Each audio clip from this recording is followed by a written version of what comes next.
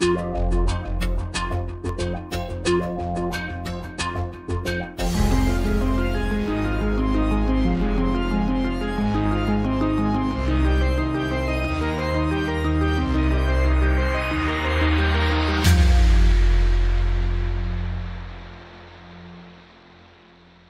Every so often, a product is created that helps us in life and makes things easier for us. Sometimes a product is created where it helps us medically. And that is the case today. We are talking with Dr. Win Chang, who is not only an orthopedic surgeon, but an inventor of a new device that will help those who are struggling with shoulder pain or potentially recovery from shoulder injury. And Dr. Chang, thanks so much, first of all, for coming in on the show. Thank you very much, Charlie. Uh, this is uh, an exciting revelation, uh, a new invention that uh, deals specifically with the shoulder and specifically the rotator cuff and the four muscles that deal with the rotator cuff. That's correct. Uh, the uh, inception of this idea came about 12 years ago when I was playing with my daughter with a cat toy. And uh, after was playing with this cat toy, I felt that my shoulder was uh, immensely uh, tired and painful, and in spite of myself keeping myself in shape. And then I realized uh, that there are really two ways of exercising the shoulder. There's one way that traditionally was, was taught by the orthopedic community, by the physical therapists, and by personal trainers, being the, uh, the four moves that you, you push, you lift, you press, and, and you pull. But I came to realize that it really does not specifically focus on the rotator cuff. The rotator cuff are a specialized group of four muscles that they go into the shoulder. The purpose of that is to stabilize the shoulder so that the shoulder can move in an effective manner. The rotator cuff, as it states, it rotates the shoulder. So the, in order to be really selective to target training and strengthening of the rotator cuff, the individual must do the functional type of exercise to rotate the shoulder. So that's how I came up with my idea of the rotational training rather than the linearly training program. And there's nothing like this on the market, right? No, no, it's a patented, uh, international patented, and also I have a, a device that is uh, really the only device that is uh, around that electronically tracks the power output of the shoulder because uh, I have a, had needles inserted into my own muscle actually, mm -hmm. and uh, converted the uh, number of muscular contractions to how fast one can use the ShoulderSphere. Because as a person that uh, lifts any object, that we call it work. Uh, for instance, uh, we uh, throw a five ounce baseball 60 feet. So the work involved is how uh, much we have to move the weight, the distance so the weight times the distance is a, a foot pound of energy, we call it. And then the concept is uh, how fast you're going to throw it. That is power. So one is work, is how much work you do. The other is how fast you do it. So you throw that 40 mile per hour, it's different amount of power as if the individual throws at 80 miles per hour.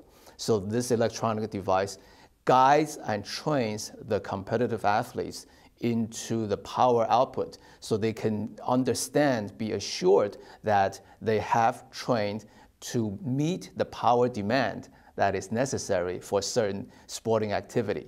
And uh, this can be translationally uh, utilized for boxers mm -hmm. and for tennis players, for baseball players, for water skiers, so for any sport that uh, require the repetitive use of the upper extremity, this can be translated into that. So really, uh, uh, my mission uh, in terms of the, the entire reason why I do this is I really, you know, having been an orthopedic surgeon for the past 25 years and more, I come to a point I realized that I was really working as a firefighter. Mm -hmm. When the house is on fire, we as surgeons, we go in there, we fix things up, we put out the fire. But I think it is uh, more important and much more beneficial for the individual to empower themselves so they can prevent the house from catching on fire first. Right. And the shoulder problem is one of the most common uh, problems that we see as physicians. Close to 5 million people visit doctors every year because of shoulder problem. Wow. And 50% of them are related to the rotator cuff. And the single most important reason why anybody have shoulder pain are related to either, either you have a stiff shoulder or you have a weak rotator cuff. And uh, so it's critical for the individual to understand how to strengthen and maintain the rotator cuff in order to uh, minimize uh, the injuries that occur. Yeah, we'll show you uh, on the video, you'll, you'll, see how it's being used, and we have illustrations of that. But I think what I, I like about it most is that there's an audio cue. So this is, this is the way, what you should be hearing. Right. Right? But if you're not doing it right, or if your muscle shuts down, you hear that. Correct. And then that lets you know that you've got to modify and, and change gears to get it back into. Correct. Major difference in terms of the rotational training is that one is it's a rotational training. So when you do the rotational training, it selectively targets the rotator cuff as opposed to any of the push, pull, lift, and press type of exercise where it does not. The rotator cuff uh, in all daily functional activities uh, work as a stabilizer. It is like the hinge for the door to allow the door to open and close. Mm-hmm. You have a Tight hinge, the door opens and closes smoothly. Loose hinge, wobbly door. Weak rotator cuff, loose shoulder.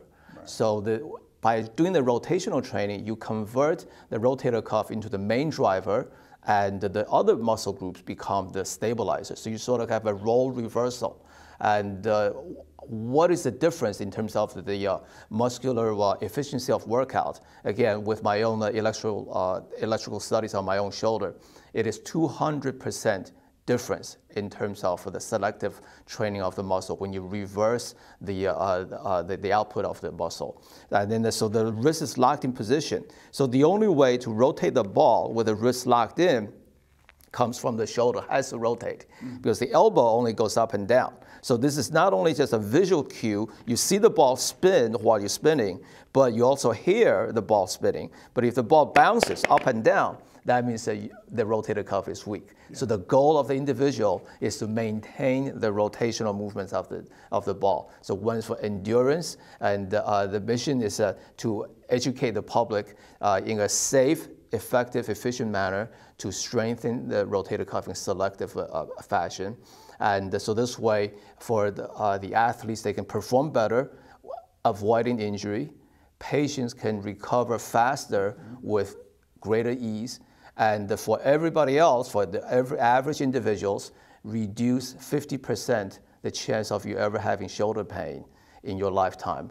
And there's a potential cost savings of over $40,000 if the, uh, an individual with a rotator cuff tear undergoes a surgery, physical therapy, MRIs the cost is enormous. And uh, you look at the cost burden for the economy and for individual lost time of work. And then I have patients who need their family members or their friends to, so you're talking about two people, to uh, one person lost time work to drive uh, the individual to, to, to, see the doctors, and the other individual uh, with the pain and the medication. For baseball players, uh, we, commonly we hear about Tommy Johns with elbow uh, injury. After uh, surgery to repair the uh, John for the ligament in the elbow, probably two thirds of them eventually do return to competitive level, but after a year or two years out. But with those individuals with an actual rotator cuff tear, less than 3% ever return. Really? And you, you have a great model here that shows exactly why it's important for those muscles to be able to be strong, to kind of hold the shoulder in place. Correct. The shoulder is different from any other joint in the body because it offers the greatest mobility.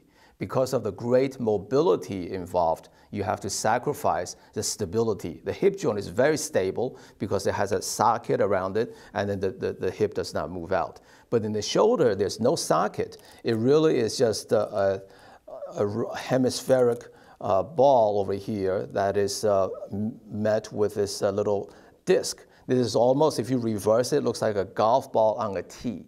Yeah. Very unstable. Right. So the only way to stabilize it is what we call a force couple. Requires two types of muscles in order to move the shoulder.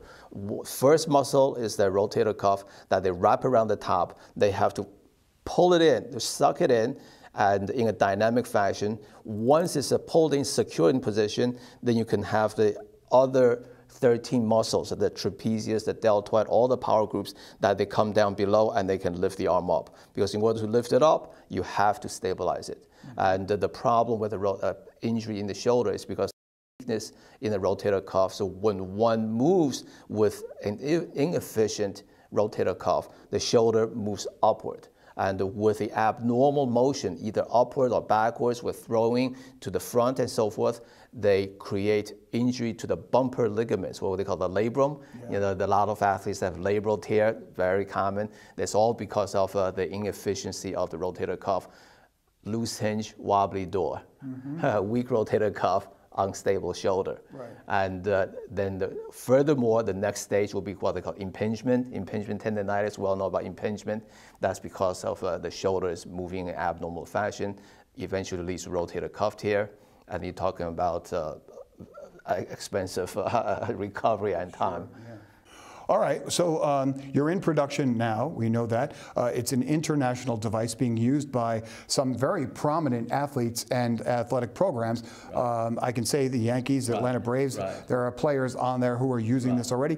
Uh, for those people here in the Hudson Valley, which I think it's great because you're a Hudson Valley guy, you live in the Hudson Valley, we've got an inventor right here. Um, where can people get more information about shoulders? Uh, they can be uh, obtained, uh, right now the, uh, the information is available on my website website. Uh, it's uh, uh, shouldersphere.com, www.shouldersphere.com, or they can reach me personally, and I would love to uh, communicate with the community because uh, my mission is to really educate the public in terms of how to uh, the proper way to exercise. And uh, winshouldersphere.com. All right, great, Dr. Chang. Thank you so much. Thank you very much.